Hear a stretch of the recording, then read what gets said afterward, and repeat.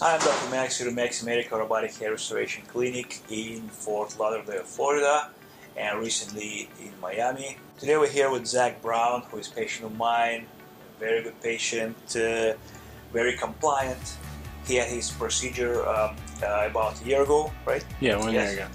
With a total of 2,200 grafts. Yeah. 2200, yeah. 2,200 grafts. It was done uh, robotically. Follow up um, as um, as we scheduled for PRP today. He's uh, he's he's here to get his PRP treatment. So far, we've, we've seen very good results. But it's- we, we, we saw it earlier than usual, right? Yes. by five or six months, you, you you've noticed a significant difference. Now, uh, what is important to realize, even 12 months, not yet final result. It takes uh, up to 18 months, or a year and a half, to see the final results because the hair takes uh, different stages, and until every hair uh, hair follicle that being transplanted stabilizes with, and they kind of organize with the same uh, uh, stages, anagen, telogen phases, uh, then you see the final result. That's why it takes some time. Uh, so, how? uh, What do you think about your decision to uh, go ahead with the robotic procedure, and you know the results so far? Well, I, I'm happy.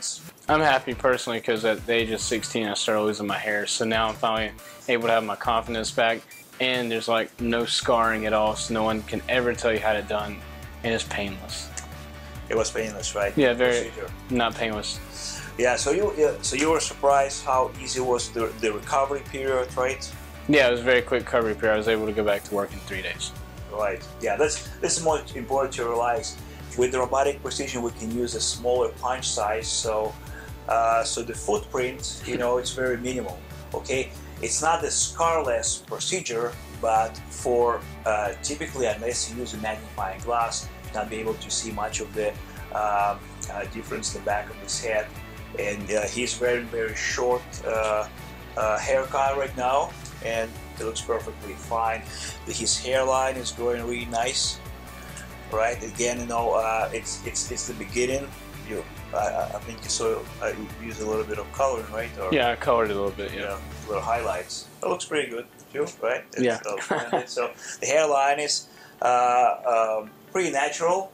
So it's not a straight uh, hairline. You can see little micro, macro irregularities. So uh, most of the people are surprised when you say that you had a hair transplant, right? Yeah, yeah. I was at the gym the other day, and a guy was like, "Man, it's transplant." He's like, "Wow."